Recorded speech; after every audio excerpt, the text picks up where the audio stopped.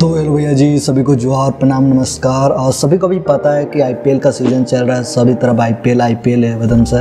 और जो लोग आई एम पी एल खेल रहे हैं, जो लोग फैंटेसी ऐप खेल रहे हैं, वो लोग का तो हार भी रहे जीत भी रहे सब तरफ़ अभी बोलबाला है आई पी का पैसों का बारिश हो रही है भाई। तो आप लोग को मन में कभी कभी कोई लोगों का ख्याल आता होगा कि इतना पैसा आता कहाँ है? मैच ऐसे कराते हैं तो इतना खर्चा मैच के बाद में इतना पार्टी सार्टी प्लेयर लोग का होता है, हर दिन पार्टी सार्टी होता है तो इतना पैसा आता कहाँ से है?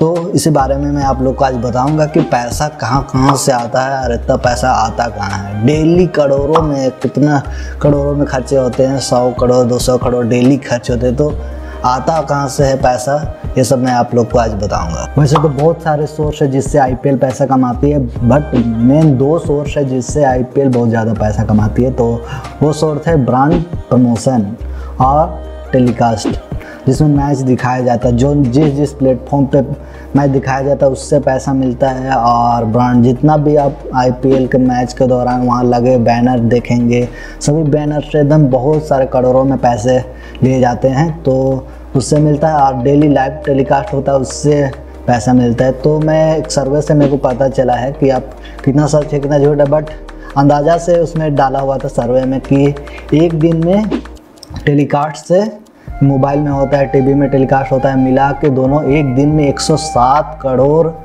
पैसा बनता है आईपीएल को। तो सोचो, एक दिन में 107 करोड़ बन रहा है तो भाई, डेली का कितना ज़्यादा होता होगा? तो मैं आशा करता हूँ कि ये इन्फॉर्मेशन आप लोग को अच्छा लगा है। तो चलो, ये अच्छा लगा है तो वीडियो को लाइक कर देना और चलो बाय